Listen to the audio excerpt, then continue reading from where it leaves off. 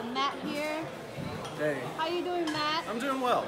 Um, I cut out on my uh, on my EX at 38 or 39 miles per hour, according to EUC World. Yeah. Um, but the uh, you know this jacket yeah. saved my ass, uh, saved my shoulder because I think most of the impact was on the shoulder over here where I patched it up, um, and then I just kind of rolled it off.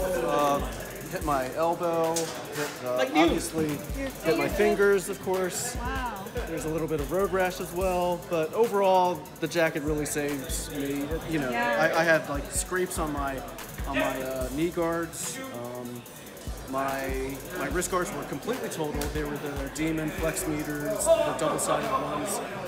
Those were just all completely wrecked. So I bought new ones of everything except for the jacket um, because it's only cosmetic. But overall, I'm really thankful for the Basegate team for helping helping me out during the accident. Yeah. Um, and I'll try to not ride so fast. Yeah, take it easy today.